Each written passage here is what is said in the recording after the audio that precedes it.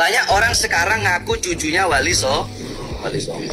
Bahwasanya tidak ada anak cucu Wali Songo. Kalau ada orang yang sekarang ini yang sekarang-sekarang ngaku cucunya Wali Songo itu nggak ada. Jadi, kalau Anda tidak mengetahui mengenai sejarah Nusantara, cukuplah diam. Kalau berbicara jihad, kami pun bisa jihad. Jadi bicara masalah semangat jihad bukan cuma milik Anda dan juga kelompok Anda.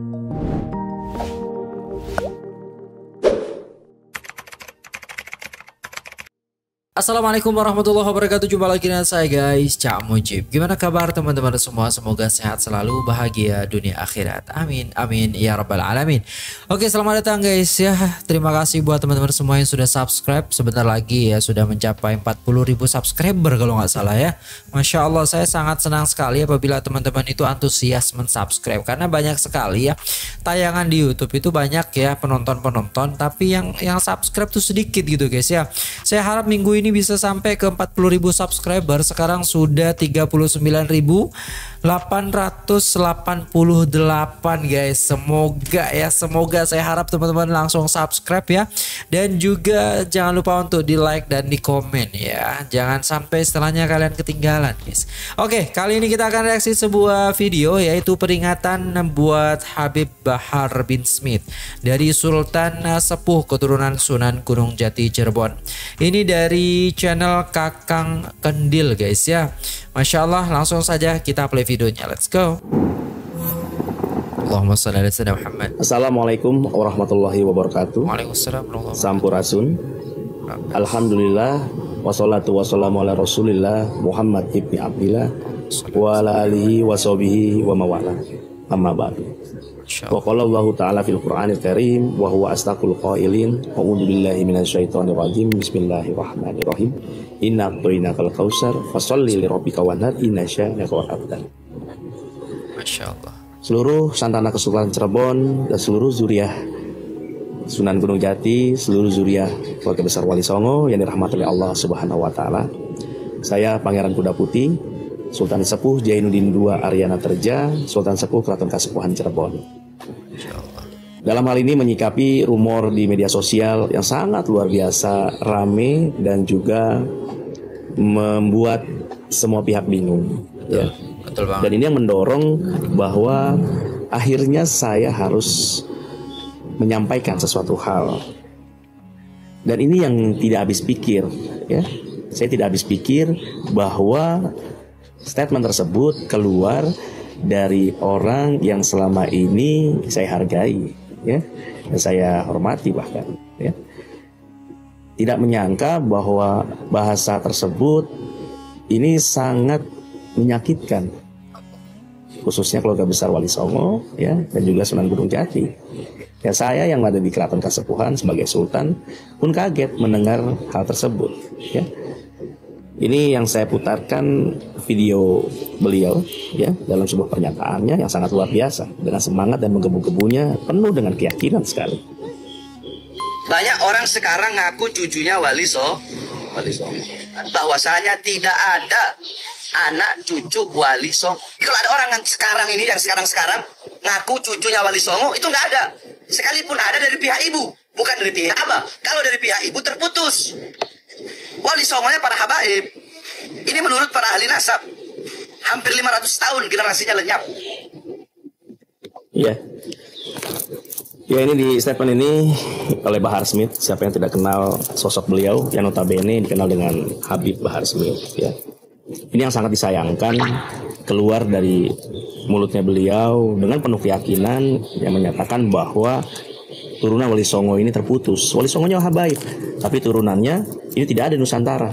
Kalaupun perempuan, dia terputus. Namanya anak, nggak ada yang terputus. Tetap saja turunan.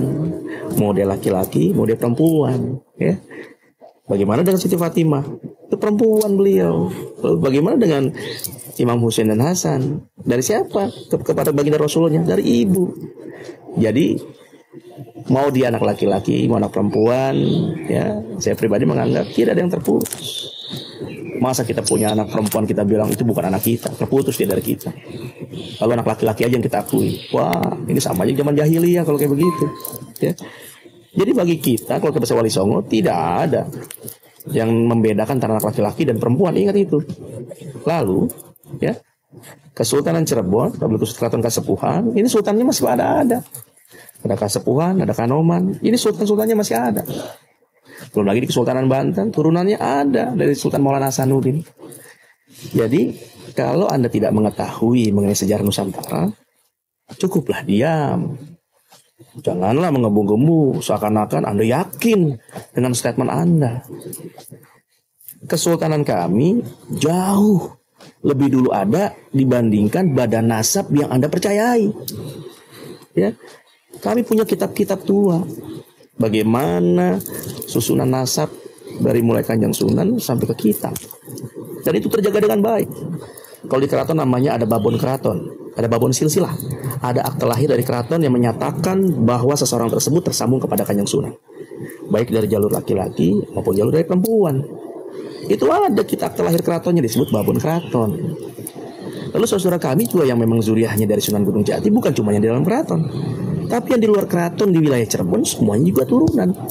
Banyak ulama-ulama besar di Cirebon sana yang notabene masih turunan Sunan Gunung Jati. Seperti keluarga besar Pondok Pesantren Benda, Pondok Pesantren Buntet, Cewaringin, Kempek, dan juga yang lainnya. Dari Trusmi, ya. Banyak. Jadi turunan Sunan Gunung Jati ini terjaga dengan baik kenasapannya. Ketika badan nasab yang Anda percaya ini mengatakan demikian, maka itu tidak benar.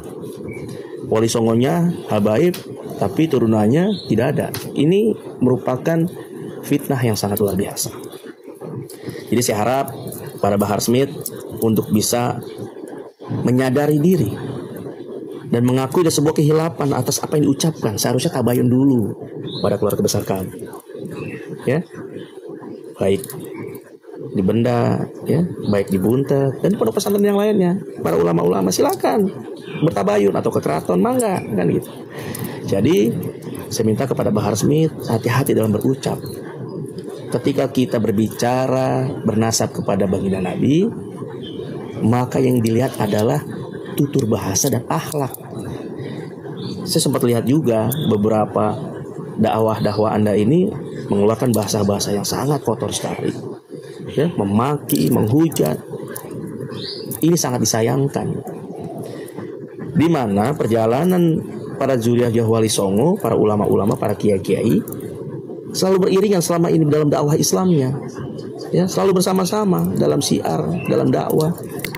Kenapa Anda melontarkan dengan bahasa seperti ini?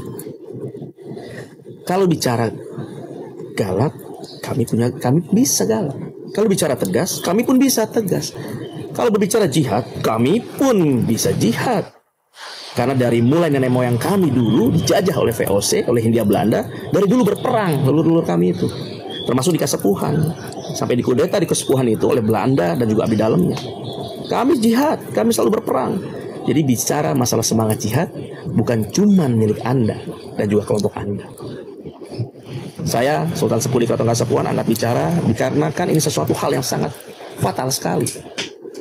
Memicu konflik besar antara turun wali songo dan para habaib ini efeknya. Ya rugi siapa? Islam yang akan rugi. Terpecah. Lalu untuk kepentingan siapa? Untuk kepentingan siapa? Untuk kepentingan orang-orang yang ingin Islam ini pecah. Jadi saya harap kepada Bahar Smith mulai saat ini jangan pernah mengeluarkan kata-kata yang dapat menyakitkan hati kami semua. Bicara nasab, bicara Anda tersambung kepada baginda Nabi, silakan. Karena itu pertanggungjawabkan Anda, pertanggungjawaban Anda pribadi kepada Allah nantinya. Begitu juga kami. Para turunan-turunan Wali Songo yang memang kami ini tersambung kepada Kanjeng Sinun, Gunung Jati dan juga para Wali Songo yang lainnya yang juga tersambung kepada baginda Nabi, maka pertanggungjawabannya juga pada diri kami masing-masing di hadapan Allah Jadi jangan pernah menyakitkan hati. Sesungguhnya baginda Rasulullah tidak pernah terucap dari mulutnya untuk menyakitkan hati orang lain. Ketika kita mengakui bernasab kepada baginda Rasulullah, maka jaga sikap, jaga akhlak. Karena baginda Nabi tidak pernah memaki, mencaci orang lain. Apakah pantas kita sebagai turunannya kita mengeluarkan dalam dakwah sebuah cacian dan makian terhadap orang lain. Sayyidina Muhammad dah selesai videonya guys. Ya dan itu yang disampaikan tadi. Allahu Akbar. Saya nggak nyangka juga sih guys ya. Sebenarnya ini aku udah ada viral lama gitu. Tapi saya nggak ingin melihat sebenarnya. Cuman harus disampaikan juga gitu kan kalau ada yang salah dinasehati kalau yang benar ya kita jalani kita terima seperti itu tapi kalau ada kesalahan maka memang harus dinasehati dan setiap manusia itu pasti punya salah dan lupa guys ya al-insan mahalul khata wa nisyan. Setiap manusia itu mempunyai khata, ya kesalahan ataupun dosa. Nisyan juga lupa seperti itu. Jadi alangkah baiknya watawasau bil haqqi watawasau bis sabar. Kita senantiasa ya memberikan nasihat kepada orang-orang tentang kebaikan, tentang bersabar dan lain sebagainya. Hal ini kalau menurut saya memang betul yang disampaikan oleh Sultan Sepuh keturunan Sunan Gunung Jati Cirebon bahwasannya memang harus sesuai ya kalau kita ingin menyampaikan sesuatu apa namanya ya bisa dikatakan perkataan ataupun statement bisa dikatakan harus dengan fakta juga gitu kan. Dan juga dikatakan tadi bahwasanya Rasulullah Shallallahu Alaihi Wasallam tidak pernah menyakiti hati seseorang. Allahu Akbar. Allahu Akbar. Mungkin itu saja ya video kali ini guys. Semoga bermanfaat untuk kita semua. Dan yang baik kita ambil yang tidak baik jangan diambil guys ya. Yang baik saja kita ambil. Ingat kita sebagai manusia dan kita sebagai umat Islam mengetahui mana yang baik, mana yang tidak baik. Maka mari kita tuntun hati kita ya. Minta kepada Allah Subhanahu wa taala agar Allah Subhanahu wa taala memberikan selalu ya tuntunan kepada kita, menjaga kita untuk senantiasa mengambil sebuah hal yaitu kebaikan. Oke itu saja video kali ini. Terima kasih. Sampai jumpa di video selanjutnya guys. Jangan lupa like, share, komen, dan subscribe. Wassalamualaikum warahmatullahi wabarakatuh